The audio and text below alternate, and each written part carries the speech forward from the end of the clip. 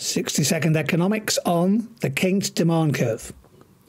Well, this diagram can help explain price rigidity or price stickiness in oligopolistic markets.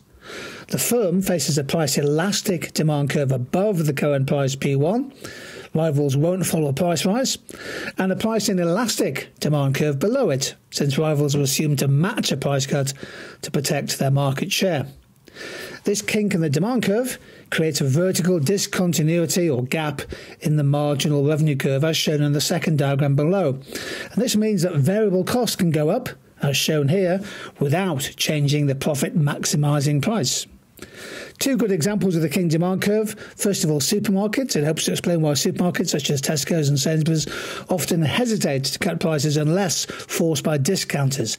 They prefer price matching guarantees instead. And in petrol retailing, there's been a recent Competition and Markets Authority investigation into why petrol prices often rise quickly but fall slowly, a variation of sticky pricing behaviour.